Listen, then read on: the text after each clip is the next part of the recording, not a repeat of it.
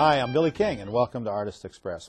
Hold on to your perceptions. You're about to glimpse into the mind of an amazing one word phenomenon, Trimpin. He's blurring the boundaries between sound, vision, space, and technology. Hell, he even bends time and the laws of physics. Trimpin is challenging our sense of what is possible.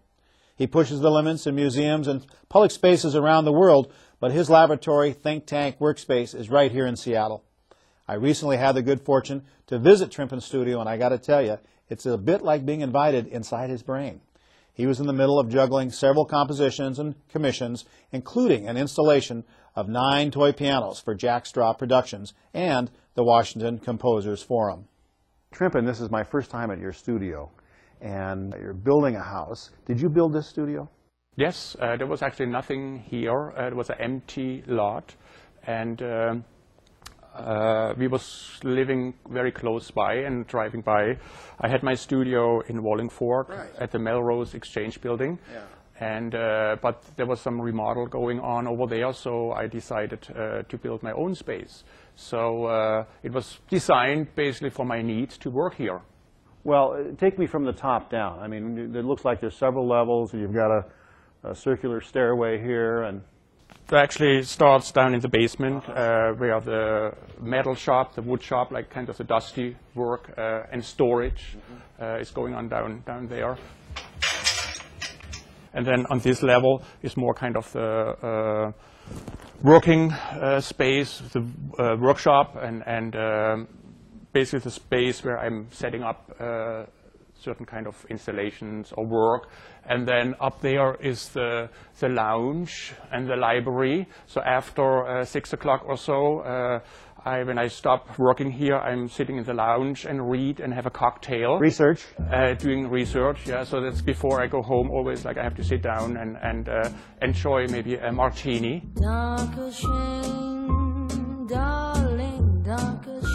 I love to listen to Wayne Newton. Thank you for all the joy and pain. But, you know, uh, only when I have a cocktail. You know, uh, a friend of mine who has uh, motorcycles refers to his garage as the garage of broken dreams. You know, things that, uh, projects that are half finished and not quite done. Is this full of half finished projects? Or are these projects waiting to happen or completions? What's, what's going on here? What are you working on now, even? Well, uh, my work is always kind of work in progress. I'm working on several different uh, projects uh, simultaneously because uh, e- each project usually takes a year or some, some, some projects take several years to, to uh, be finished. And sometimes uh, I have to stop uh, working on a project because I might be stuck because I'm, I, I, I, I couldn't figure out at this moment uh, how to evolve to the next step to get this get this visualized, get like this idea transferred in, actually in, in, in the real uh, part because I usually learn on the job, you know, like I have to read, of course, some literature, boring literature, how to solve uh, this problem, reading about mathematics or physics or electronics. So uh, I try to do uh, what I can handle myself. I don't like to give work away to involve other mind uh, in this process because two minds they, they are not uh, they are very much different. Uh, it's very hard to transfer one idea from one mind into another mind. So I stay just with my own mind.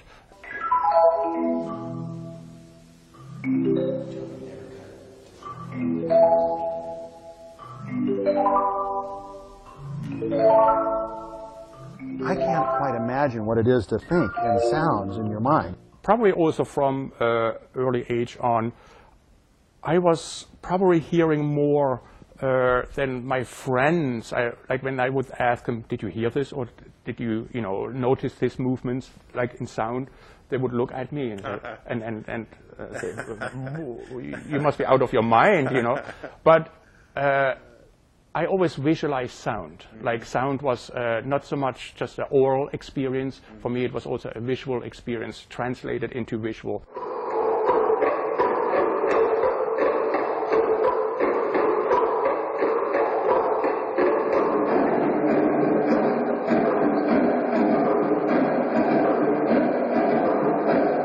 Because sound moves through space. It's not stationary. It's constantly moving. So sound is a kinetic object as well, and it can be. It's not invisible, of course it is, but uh, it, it also can be visualized. And I always thought, and that what my work is based on, uh, on visualizing sound and moving the sound through space.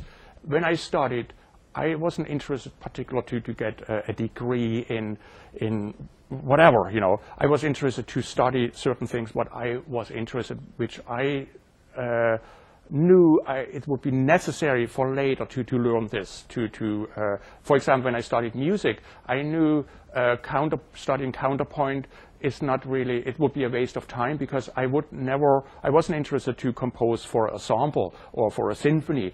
I knew I was interested to compose for my own instruments. Because at early age, I started already to, I was trained on woodwind and brass instruments. Right. And I remember to um, cut the trombone in part, add other kind of a bell to have, instead of a monophonic, a stereophonic sound coming out of a trombone, which is impossible because certain instruments like uh, trumpets or uh, uh, woodwind instruments, uh, you can only cre create a, a, monophonic sound. Got this commission from EMP uh, to do something with guitars, and uh, I found we found about 700 guitars and made made this uh, kind of uh, tower out of uh, these guitars, like evolving into going from somewhere into departing into in, in, in nowhere. So the idea was going back 1500 years. Uh, looking what, how sound was actually defined at this time and, and Pythagoras uh, defined 1500 years ago uh, what, what it means to pluck a string. So he found out, like, uh, with his simple monochord, with his simple one string, right. when you pluck this one string, uh, something happens. You hear a, fundamental sound, but there are much more other sounds uh, emitted from this uh, particular string.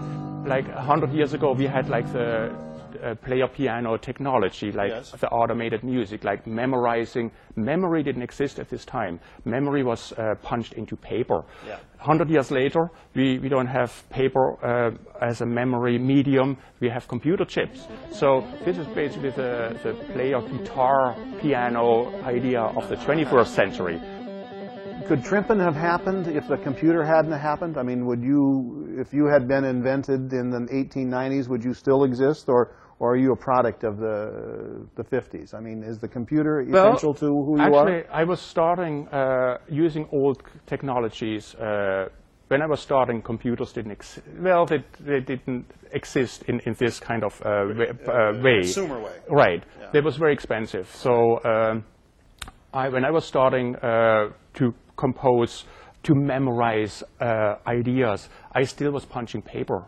bum bum bum bum bum bum bum bum bum bum bum bum bum bum bum. Automated music goes back uh, into uh, Egyptian time. We go back 2,000 years where they had automated solar-powered birds singing, mechanical birds singing, and they were solar powered. The high point of automated music was uh, around 1920, 1930, but then the record player was invented. And this took away completely uh, the uh, industry of, of building these music machines because it was much more cheaper to put a record on a record player and play this record instead of having these music machines playing. And they was basically designed for entertainment.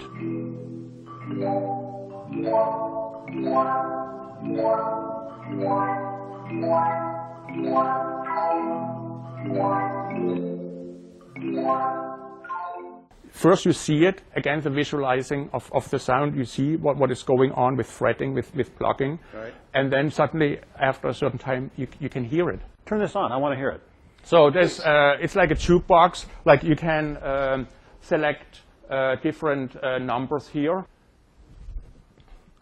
Single string, one string. Right. That's also a, a drum and bass piece.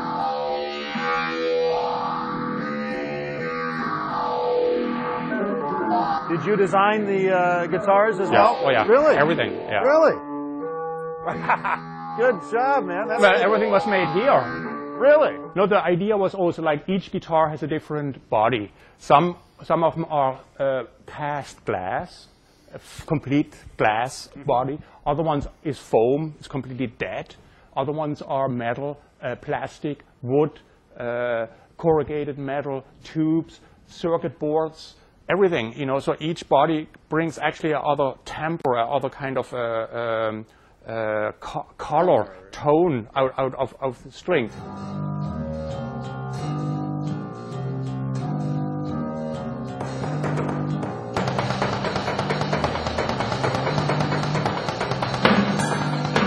So you wrote this out?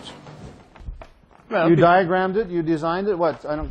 Well, before you start making any sound on these instruments, you have you have to know what what um, what you want to listen to. You want Right. to know what you, you play. Right. So when I would turn on the guitars, we could exactly follow uh, this composition because that was the information I had to type into the computer, so these guys know what to play.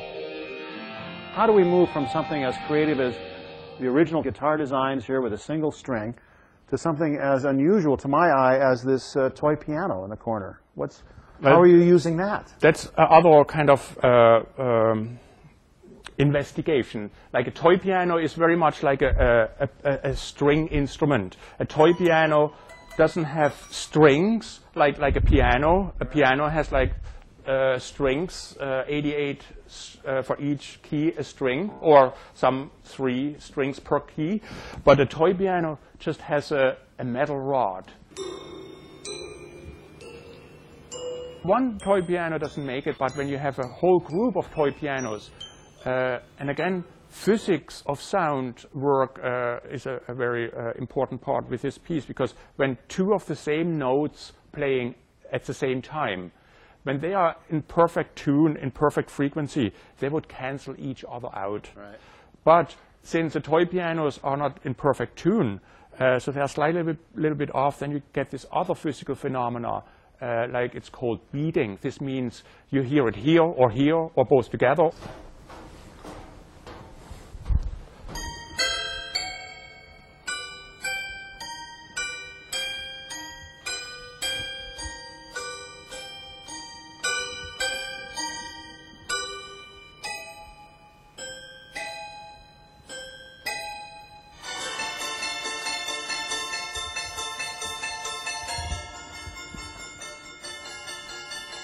Toy piano you cannot tune. A toy piano has a tune fixed uh, uh, system. So uh, usually when you write music for pianos uh, and you have it uh, played in public somewhere, the critics always uh, have something to nag on. The tuning was off, the tuning wasn't right, or whatever. You know, when you compose for a toy piano, you basically have to leave uh, leave it as it is. Trimpin has about, oh, he's collected maybe 16 pieces already for toy pianos. Some written by living composers, others a mix of, oh, pieces like John Cage and Liberace have written pieces for toy piano.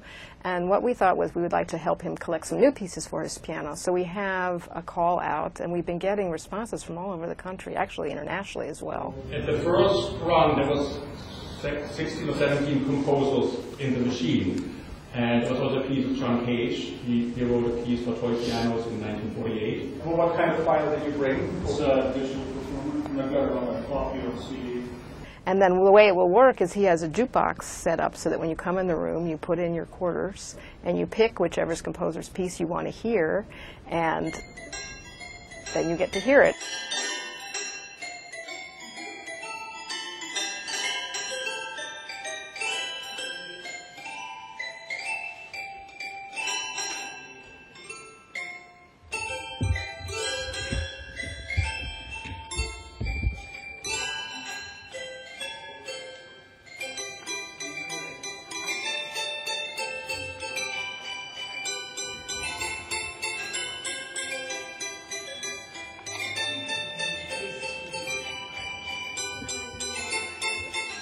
The pianos will be set up for two months.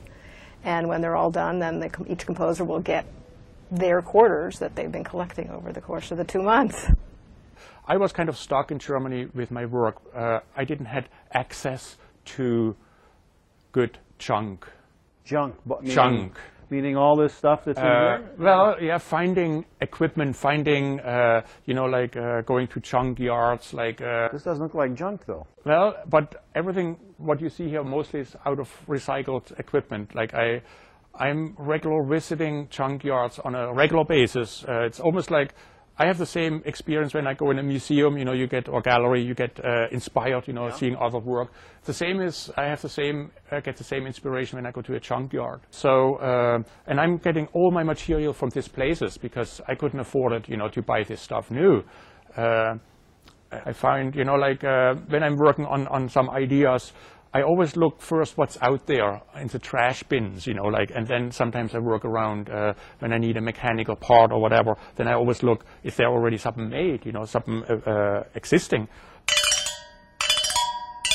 Wow, a xylophone of sorts, huh? Yeah. So I want to have a. Uh, I'm working on this project for the airport, uh, which uh, Really? Are these the notes? Right.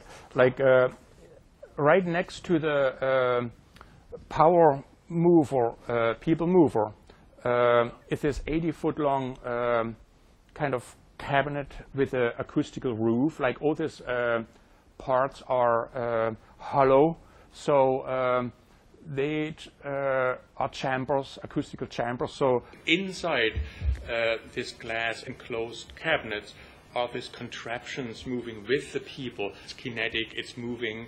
Uh, for example, I have maybe uh, this uh, uh, this uh, Burm- Burmesian girl uh, waving goodbye, and and but then you see all the mechanical parts how this puppet actually would wave goodbye. So inside, it's kind of a fake perpetual motion machine.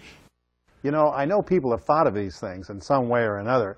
It's just amazing that you're so quickly able to translate these ideas into some sort of physical form. I mean, that is true genius. That's true. Yeah, but then I have to build a whole gyro mechanism who brings these mm, rings in motion, and this takes years. You know, like to So you, you don't hire engineers to do that part? You I couldn't. I couldn't afford this. You know, like no public art sucks because in in a, a normal way, no contractor would would touch this work because it's underpaid. You know, mm-hmm. I'm probably making five bucks an hour mm-hmm. on these projects mm-hmm. because I'm working, you know, 12 hours a day, so uh, it adds up.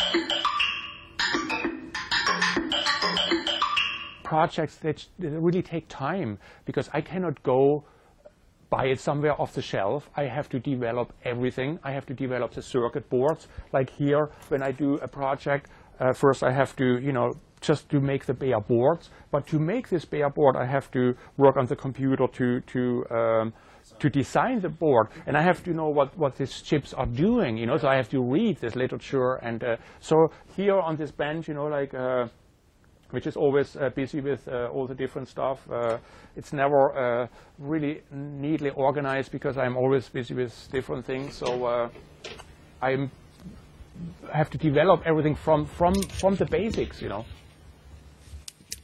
I'm not into sports. I'm not into uh, fishing.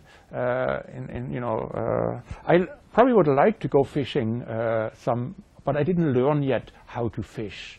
And I, that's the other part. Uh, maybe uh, I have to learn a few more things here first, how to uh, do certain things, and then I might be ready for fishing.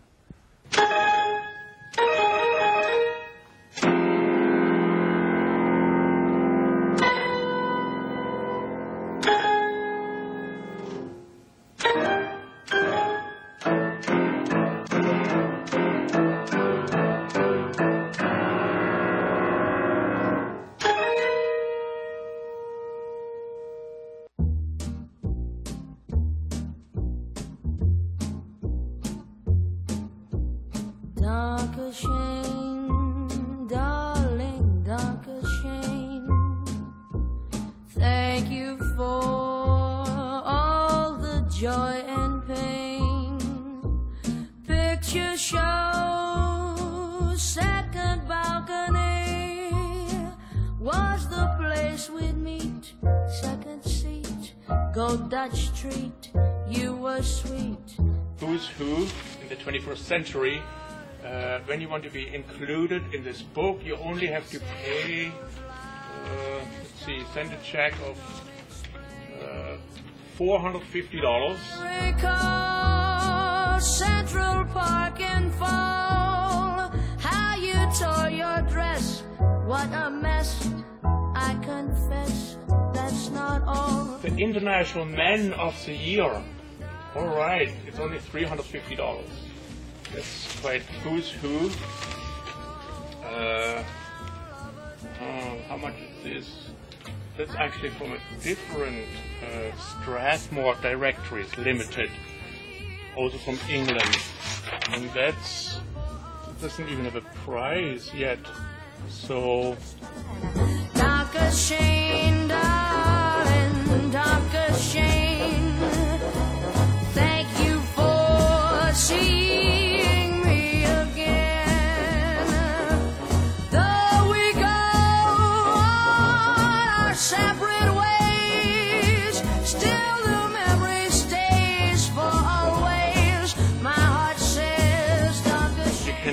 have your desk decorated with uh, all these awards and flags, and and uh, and it would probably amount to about two three thousand dollars. Then you would have a beautiful uh, desk with your family picture, you know, with your kids, with your awards, and and uh, and. Uh, I didn't get into yet. It would be nice to actually collect this when I would have the money, just for the for the fun.